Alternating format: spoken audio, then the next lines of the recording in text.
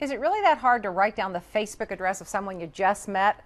Apparently it is because now there's an app for that. As KITV's gadget guy Fred Cantu shows us, all you have to do is raise a glass to your new friendship. Would you like to contact someone on Facebook, but you're too shy to ask them for their address? Well, modern science and beer have come to the rescue. Budweiser presents the Buddy Cup cup integrated with Facebook. It's exactly what it appears to be a beer cup that links to your phone to access your Facebook. When two people clinked their cups, they became friends. Maybe there weren't actual sparks when you met, but there was a little red LED to confirm that you agreed to friend each other on Facebook.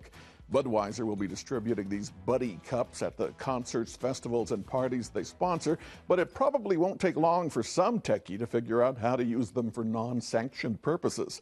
The dad in me already has his antennas up, worried about privacy concerns, especially after one too many toast. But what do you think of the Buddy Cup?